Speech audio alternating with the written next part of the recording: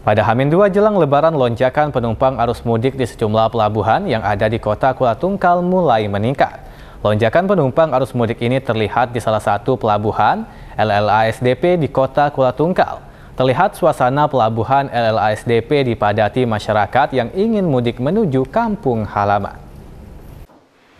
Euforia mudik masyarakat menuju kampung halaman pada momen lebaran tahun ini cukup tinggi, di mana sejak Hamin 7 hingga Hamin 2 lebaran, terpantau suasana pelabuhan terus dipadati oleh para penumpang yang ingin mudik. Tampak kapal speedboat terus berangkat dan terisi penuh, berbeda dengan momen lebaran pada dua tahun belakangan.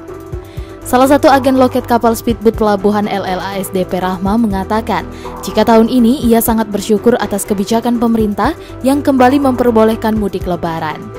Karena hal ini membuat agen loket speedboat menjadi kembali bergairah. Alhamdulillah hari ini sudah kelihatan lonjakan penumpang.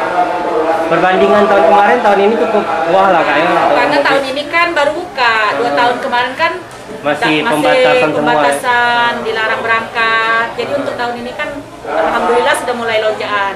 Mungkin kalau sehari itu berapa penumpang gitu kak tujuan gitu kak? Terkadang berapa boot yang bisa sampai dua boot bisa. Dua boot, ya. penuh semua lah. Alhamdulillah. Sementara Tia, salah seorang penumpang kapal speedboat yang ingin mudik menuturkan jika ia sangat bergembira dapat mudik pada tahun ini. Sebab hampir dua tahun belakangan ia tidak mudik ke kampung halaman sehingga momen lebaran tahun ini dimanfaatkannya untuk mudik kembali. Menteng. Ini baru tahun ini atau tiap tahun kita lakukan? Baru tahun ini karena bisa mudik nih ya. Mungkin kita uh, sangat senang tak ketika diberlakukan mudik ini deh. Bisa berkumpul dengan keluarga juga ya. Dijelaskan oleh staf pelabuhan LLASDP Mailin bahwa hingga saat ini lonjakan penumpang arus mudik terus terjadi.